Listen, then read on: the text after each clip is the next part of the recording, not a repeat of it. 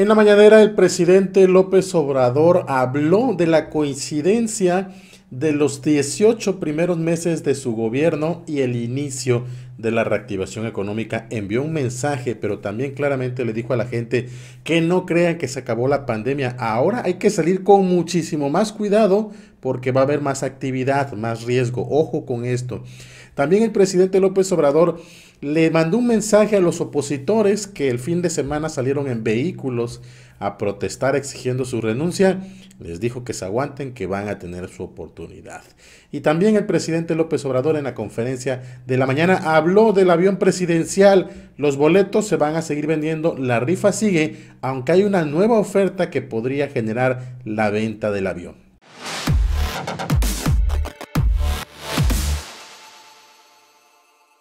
Renovamos toda la tienda del chapucero y hay nuevos modelos de playeras como esta, la de AMLO como los Simpson. Este diseño lo puedes comprar exclusivamente en este número de WhatsApp aquí abajo o que también te dejo en la descripción de este video. Y enviamos a todo México y también, ojo, a Estados Unidos. En la conferencia de la mañana, el presidente López Obrador envió un mensaje a propósito de los 18 meses de su gobierno que se cumplen justo en el inicio de una nueva situación, la reactivación económica, una situación peculiar. Iniciamos eh, una gira por el sureste para comenzar una etapa nueva en la vida pública de nuestro país. Lo vamos a hacer con todo el cuidado que se necesita, guardando la sana distancia, pero tenemos que ir hacia la nueva normalidad porque esto lo necesita la economía nacional, el bienestar de nuestro pueblo. Hoy cumplimos un año y medio de gobierno, llevamos 18 meses gobernando la República. Y me siento satisfecho con lo alcanzado, a pesar de la adversidad, a pesar de los pesares, sigue avanzando la transformación de nuestro país. El presidente López Obrador le dejó claro a los mexicanos que hay personas, gente que necesita trabajar porque viven al día, pero hay otros que tienen que quedarse en su casa, que pueden hacerlo, háganlo. Si eh, salimos de nuestras casas solo para lo indispensable, si respetamos las medidas sanitarias, pues entonces poco a poco vamos a ir eh, regresando a la normalidad.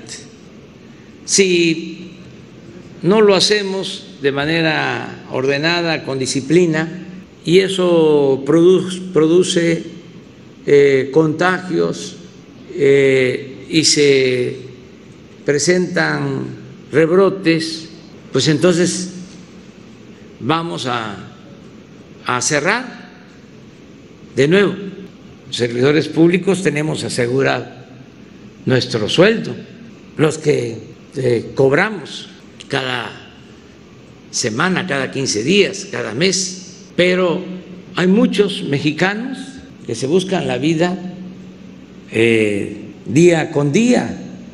Aquí en el caso de Quintana Roo, el gobernador acaba de informar de la pérdida de 80 mil empleos entonces necesitamos eh, poco a poco regresar a la normalidad con cuidado para garantizar el bienestar de la gente. Yo convoco a que no se deje de ver el informe del el doctor Hugo López Gatel de 7 a 8 de la noche, diario, para ir viendo el comportamiento de la pandemia y al mismo tiempo empezar a avanzar. El presidente López Obrador habló de los estados y cuál es la situación con la que inician esta nueva normalidad. Tabasco, su tierra natal, es el foco principal en estos momentos. En esta reunión de la mañanera, ¿cuál es el foco rojo de, del desarrollo de la epidemia, dónde está la, parte más, alta de, contagiados de COVID-19, si hay algún estado en particular hoy que, arranca la reapertura. Sí. ¿Ahí sí vio algún estado? Tabasco es donde tenemos todavía más problemas. Este, em, en el caso de la Ciudad de México, eh, hay una situación, vamos a decir, controlada y con eh, disminución, lenta pero con disminución. Aquí ya se dijo, hay un descenso, muy claro el descenso en Tijuana, donde este, inició, igual que en Quintana Roo, igual que en la Ciudad de México. También descenso, no como quisiéramos, pero eh, a la baja, en el caso de Sinaloa.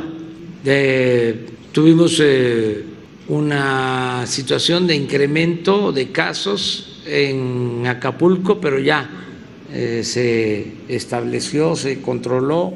El presidente le mandó un mensaje a los opositores que el fin de semana protestaron exigiendo su renuncia. Tienen derecho a manifestarse.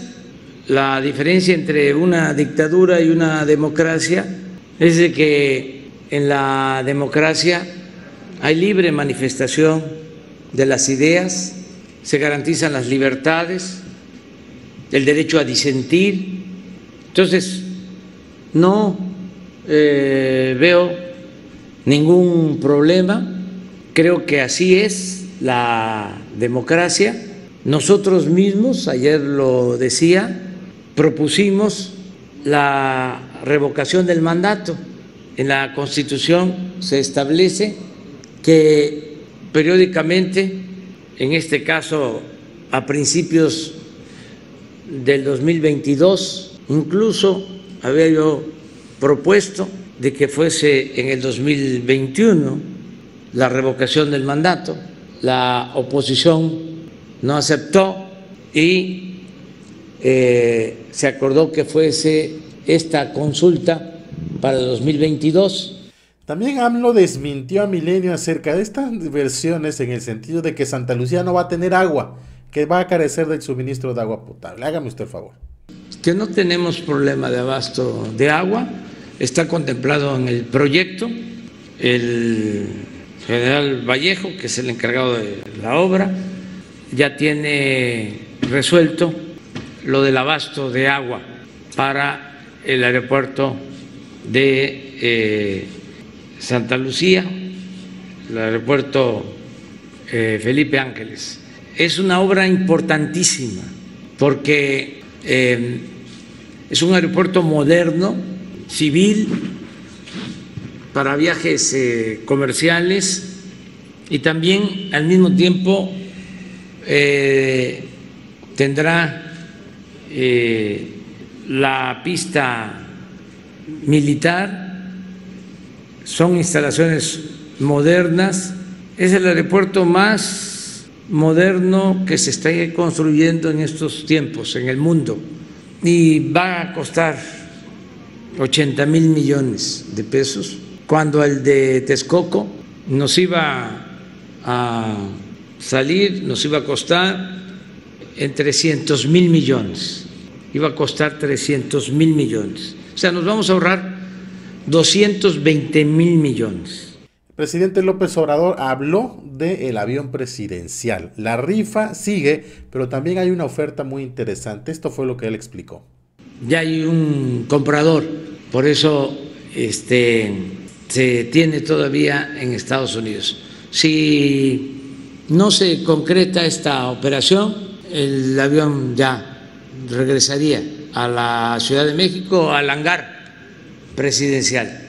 También aprovecho para decirles que eh, se siguen vendiendo ya los boletos, van a continuar vendiéndose los boletos para la rifa del avión. Ya hay una cantidad considerable de boletos vendidos y no cambia la fecha del, del sorteo Va a ser 15 de septiembre. Pero sobre eso les informamos después. Bueno, nada más para puntualizar, eh, ¿cuánto tiempo demorará eh, la negociación con el posible comprador? Yo creo que eh, a más tardar en 15 días, 20 días, porque pidieron un mes y ya ha transcurrido un tiempo. Así es, ¿no, Entonces, este, ya se sabrá si se quedan con el avión. De todas maneras, tanto lo que paguen, bueno, el trato eh, va a consistir en, de acuerdo al avalúo, pagarían la mitad en efectivo y la otra mitad en eh, equipos eh, médicos que este, vigilaría la ONU. El tren Maya, los banderazos se van a dar esta semana, va a generar este año 80 mil empleos. Pensamos que este año, en los cuatro, en los cinco tramos, incluido el de Cancún-Tulum, que va a empezar este año, eh, se van a crear 80 mil empleos en eh, estos cinco tramos, porque es, el inicio de los trabajos. Pero ya para el año próximo son 150 mil empleos, en el caso del Tren Maya. Este año se autorizan eh, contratos por 90 mil millones de pesos. Es la inversión pública federal más importante que se haya visto en muchos años en el sureste y es una obra de primer orden. Va a quedar pendiente el tramo Tulum-Escárcega, que es Tulum, Carrillo Puerto, eh, Bacalar, Chetumal, eh, Espujil para Calakmul y de nuevo Escárcega. Son dos tramos de Tulum a Escárcega. Si quieres anunciar tus productos, servicios, aplicaciones en el canal del Chapucero o el Chapucero USA, envía un WhatsApp a este número telefónico o un correo electrónico a esta dirección